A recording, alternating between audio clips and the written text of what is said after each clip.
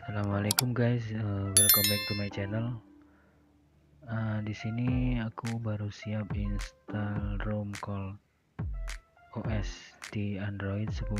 Jadi di sini saya mau mereviewnya bagaimana ROM ini di Xiaomi Redmi Note 3 Pro. Kalau menurut saya sih uh, recommended banget ya, soalnya dia bugnya nggak ada kalau misalkan kalian mau naik ningkatin kecepatan CPU nya tinggal kalian install kernelnya aja. Kernelnya bisa kalian cari di Google kernel apa aja bisa. Agni juga boleh. Dan bagus sih Agni ya.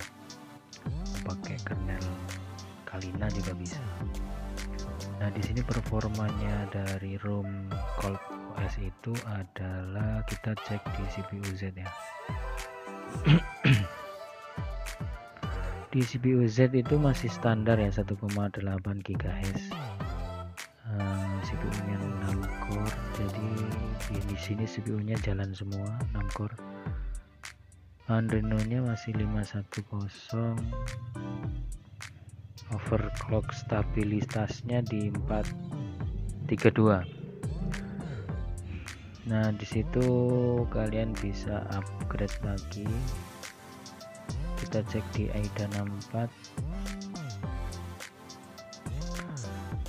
sistemnya standar ini yang RAM 3 GB ya. Yang RAM 3 GB ini belum saya installin swap turbo jadi agak naik. Cuman kalau untuk gaming kemarin saya juga udah lumayan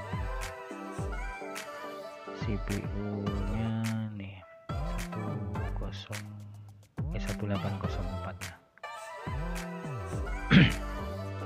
Terus frame rate nya masih 60 Hz nya masih sama ya. Bisa clock speednya di 621 MHz yang standar normalnya di 432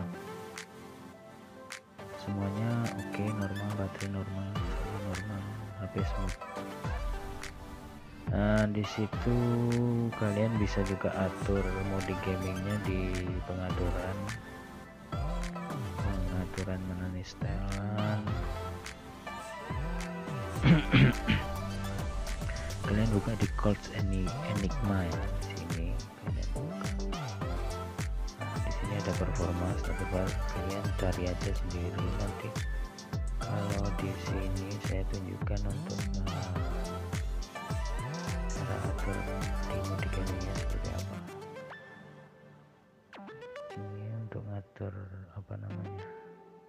status bar ya.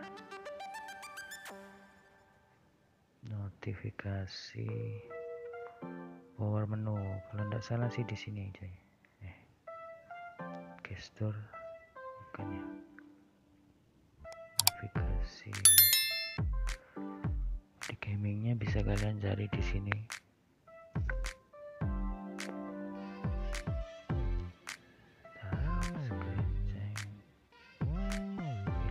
lagi kemarin semalam udah tak cari itu.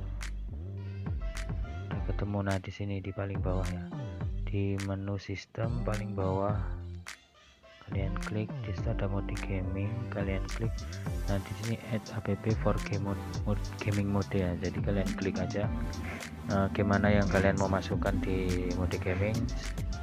Kalau aku kan ada PUBG tuh data masukin di situ. Setelah itu kalian bisa atur yang lainnya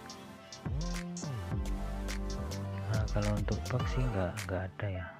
Belum ada bugnya nanti setelah jalan 1 sampai 2 bulan nanti bakalan saya review lagi atau satu minggu ke depan lah. Satu dua bulan kayaknya kelamaannya ini androidnya 10 kernelnya masih standar. Dragstar ya kernelnya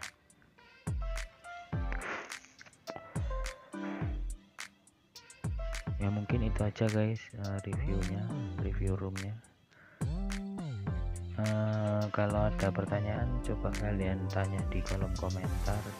Oh ya sama satu lagi di advance control 2 ini di sini kalian bisa mengatur sistem baterainya seperti apa. Kalian bikin performa gaming atau performance baterai atau balance. Kalau baterai ini biasanya hemat baterai yang gaming. Ya tahu sendiri lah kalau untuk gaming gimana. Kalau performance tahu sendiri juga boros ya baterainya tapi ada caranya nanti saya bikinkan. Kalian harus install GreenEV buat teman-teman yang belum tahu caranya install GreenEV kalian bisa cek di video-video saya sebelumnya ada. Itu tutorial cara install GreenEV jadi fungsi GreenEV itu untuk menghibernasi aplikasi yang enggak dipakai saat kita ngegame. Jadi secara otomatis aplikasi itu akan di off kan gitu sama APK GreenEV nya jadi kalian harus install drivernya dulu baru itu kalian install APK nya. Setelah itu seperti biasa kan harus download magis ya. Download magis itu untuk performa kalau misalkan kalian mau naikin uh, grafik dari game PUBG nya. Di sini nggak saya tes untuk ngegame tes gamenya di next video aja. Karena akan durasi banyak nanti takutnya kalian bosan nah mungkin itu aja ya guys.